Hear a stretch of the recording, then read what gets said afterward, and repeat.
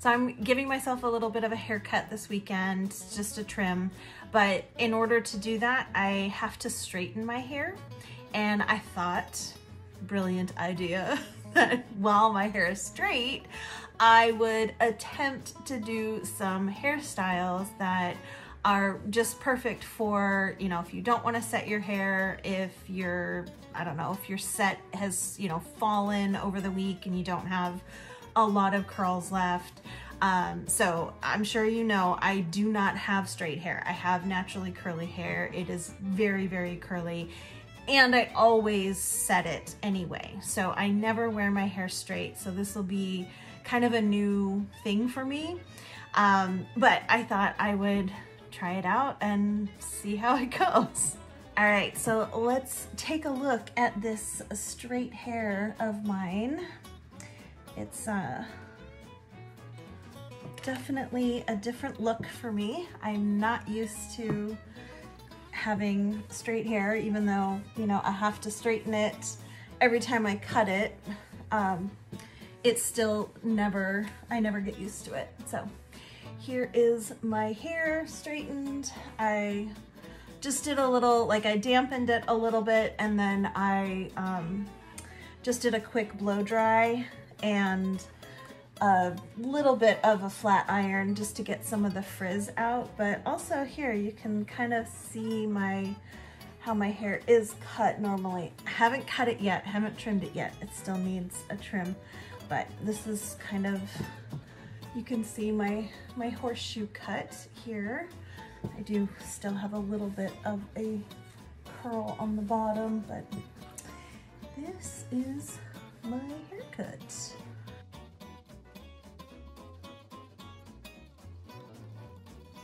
Okay, let's go ahead and get started on these hairstyles.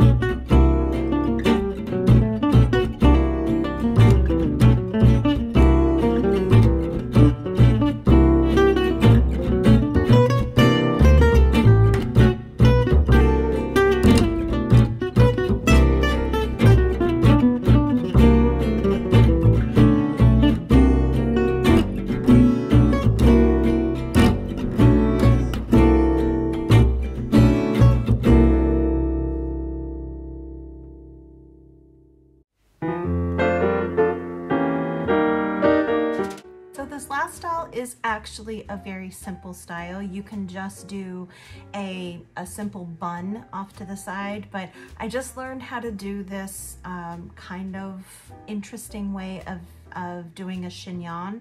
So I'm gonna show you how to do that. Uh, but you can just do a, you know, a bun if you wanted, just a regular bun, or um, even braid it or twist it and kind of wrap it up. But I'm gonna show you how to do this chignon. Música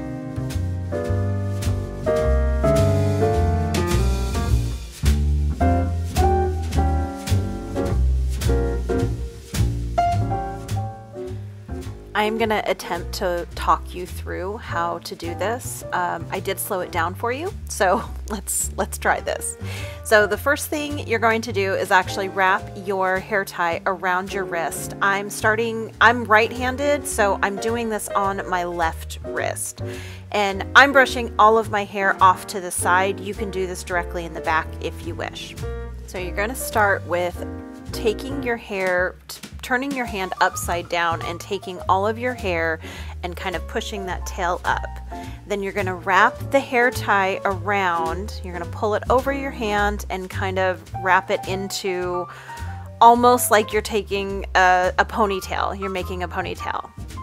Twist it once, then you're going to flip that hair, that tail end of hair, back over and your thumb, you can see my thumb right here is actually inside that little, you know, hole that you made. And then I'm gonna struggle a little bit with the hair tie, but you're gonna tuck all of the hair as much as you can underneath and then kind of get your, your thumb loose out of that hole. And then you're going to bring that hair tie around your hand and ultimately around the entire bun of hair and it's going to secure all of that hair from underneath around and then you just kind of spread out the hair a little bit. You can pin the hair back to the sides, um, off to the sides and more to your hair, but that's pretty much it.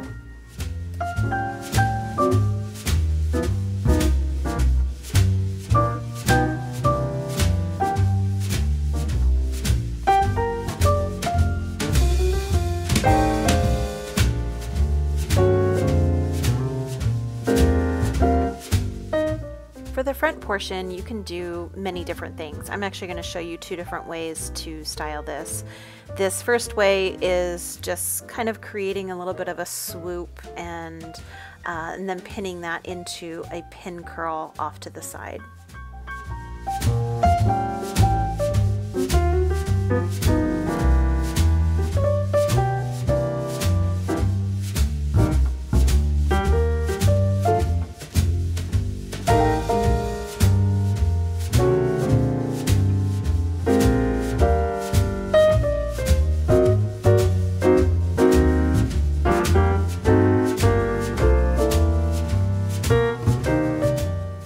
This second version, I'm just separating my hair out into three sections and making small pin curls that kind of curl down and towards my face. Uh, I'm going to wear a beret with this style and I find that it's uh, having a little bit more hair uh, kind of covering and onto the forehead just gives it a much better uh, look with a beret.